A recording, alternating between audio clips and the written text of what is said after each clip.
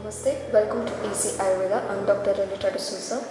Today we will learn about Bala Punarnavadi Kashaya, an herbal water decoction used in treating anorexia. Uses of Bala Punarnavadi Kashaya. It is used in anorexia. It improves digestion, relieves bloating. It can be taken in gulma, that is abdominal tumor, parinama shula, that is peptic ulcers, and grahani, that is malabsorption syndrome. The dose and timing of medicine depend on the decision of the prescribing doctor. Usually it is advised to take 15 to 30 ml once or twice a day before or on empty stomach. If you are buying kashaya from market then it is better to take this medicine mixed with equal quantity of water.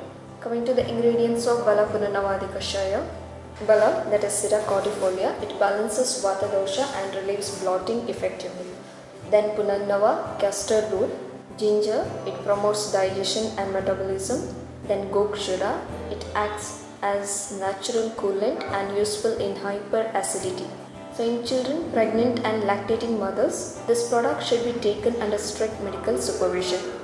Its reference is taken from Sahasra Yoga, Kashaya Yoga Prakarana. This medicine is manufactured by Arya Vaidya Sala, Kottakkal. Thanks for watching this video. To learn more about Ayurveda, please visit easyayurveda.com.